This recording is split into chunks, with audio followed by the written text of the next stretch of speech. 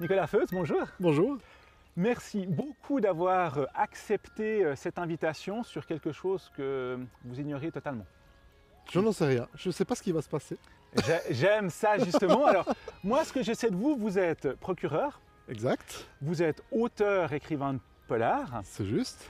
et je me suis dit, on va partir sur une expérience qui parle de livres, ou qui parle de livres, en quelque sorte, on va imaginer que vous êtes en train de d'écrire votre, prochain, votre prochaine fiction. L'idée est la suivante, vous allez imaginer le prénom d'un de vos personnages, on va dire que ce sera un prénom fictif, Oui. et puis moi, vous allez me donner comme mission pour moi de choisir le lieu et l'endroit de cette action-là. D'accord? Donc vous, vous aurez un personnage en tête, Oui. et moi j'aurai un lieu en tête. Je sais que vous aimez naviguer entre l'étranger et la Suisse, C'est juste. donc je vais peut-être m'évader ou peut-être rester en Suisse. Et dans un deuxième temps, j'essaierai de trouver le personnage que vous avez en tête, et vous, vous essayerez de trouver le lieu auquel j'aurais pensé. D'accord. Ça vous convient? Je peux penser au polar que j'ai déjà écrit mais qui va sortir cet été ou il faut penser à un polar imaginaire Vous pouvez penser au polar qui va sortir ou à un polar imaginaire, ça c'est vraiment vous qui décidez, c'est comme vous le souhaitez. Ok. Alors, on va commencer avec le prénom. Et puis ensuite, pour l'endroit, je vous guiderai, donc pas de stress. Moi, j'aurai quelque chose en tête. Et puis, je vous guiderai pour essayer que vous le trouviez. D'accord. On y va. Alors, je vous ai demandé de penser à un prénom. Donc, vous devriez avoir logiquement un prénom en tête. J'ai un prénom en tête. L'idée est la suivante. Vous allez visualiser chacune des lettres du prénom en majuscule dans votre tête. Et j'aimerais que vous, vous entendiez dans votre tête une petite voix qui vous dit de plus en plus fort ce prénom. D'accord. Donc vous entendez les syllabes, vous voyez les lettres, vous me regardez et simplement, plus fort dans votre tête, Plus fort. imaginez, visualisez si c'est un homme, si c'est une femme, si c'est quelqu'un que vous connaissez, peut-être vous pouvez lui, lui donner les traits de cette personne. Intéressant. Je J'ai plutôt, alors je vais pas vous, l'imagine physiquement aussi. vous, ouais. vous pouvez l'imaginer. Donc c'est quelqu'un que vous connaissez du coup, ou vous l'avez imaginé? Il a imaginé. Il est imaginé, mais vous arrivez à lui donner des traits vraiment. Vous m'avez dit il est imaginé, on a parlé d'un personnage. Je ne vais pas vous montrer tout de suite ce que j'ai écrit, mais je pense quand même, par rapport au verbal, on est sur un homme. C'est juste. C'est juste. Je vous montrerai, le, le- le prénom est écrit là, je vous le montrerai après, on le dévoilera après. Je le pose ici parce que maintenant, ça va être à votre tour d'essayer de trouver le lieu auquel je pense. Alors, pour éviter que vous pensiez que je change d'idée en cours de route et en fonction de ce que vous dites, je vous propose, est-ce que vous acceptez que j'emprunte votre téléphone portable Bien sûr.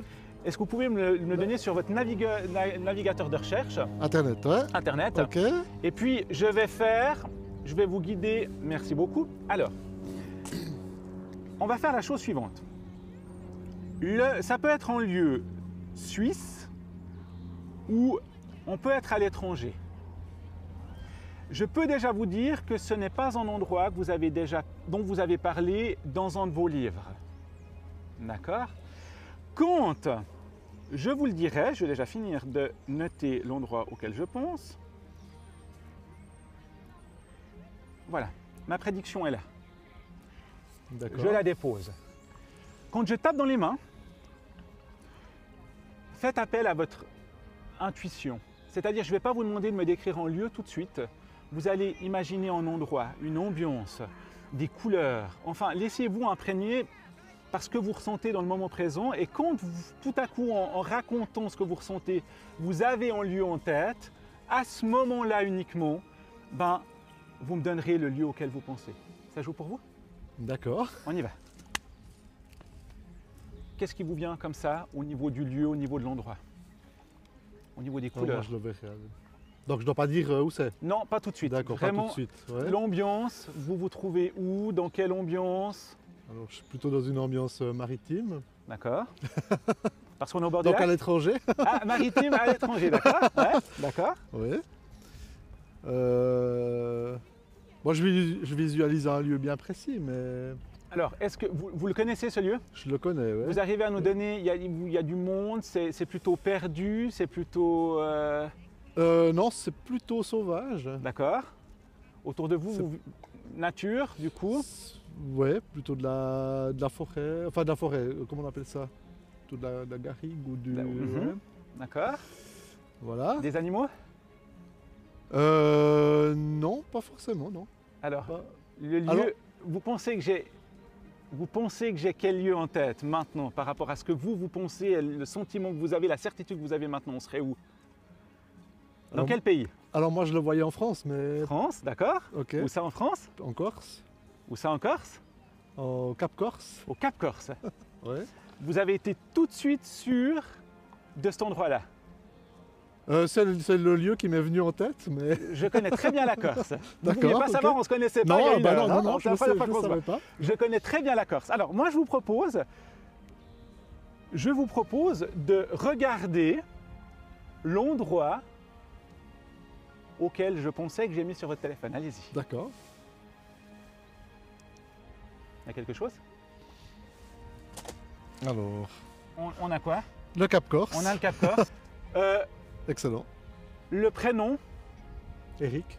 Eric. Pourquoi Eric Parce que c'est un personnage du prochain roman. C'est un personnage. Ah, Oui. là, vous dévoilez quelque chose. Je vous, mon- Exactement. je vous montre ce que j'ai noté. Hallucinant. Eric, le prochain roman de Nicolas titre- Vous avez déjà le titre L'ombre du renard. L'ombre du renard. En tout cas, merci beaucoup pour ce moment. Hallucinant. Nicolas, merci. Merci Nicolas. Merci beaucoup.